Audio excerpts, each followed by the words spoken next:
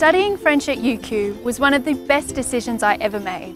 I had the opportunity to go on exchange to France and was able to take subjects in history and literature, which enabled me to deepen my understanding of the language and culture.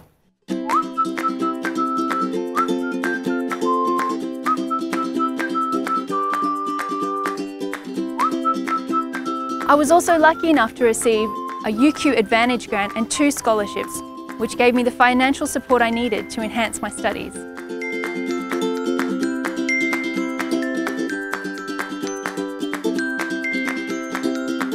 The teaching staff really made my experience memorable. The team is consistently rewarded for their excellence in teaching and innovation. By the end of my studies, I felt like they were more like colleagues than teachers. There are some great additional programs at UQ like the Winter Research Program, which gave me the opportunity to work alongside two lecturers to assist them with editing a bilingual French-English publication.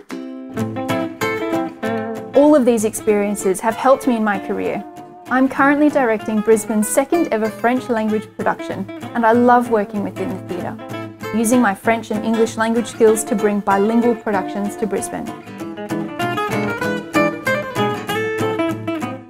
My skills and employability have greatly increased since learning French, and with over 80 million native speakers worldwide, French truly is a global language.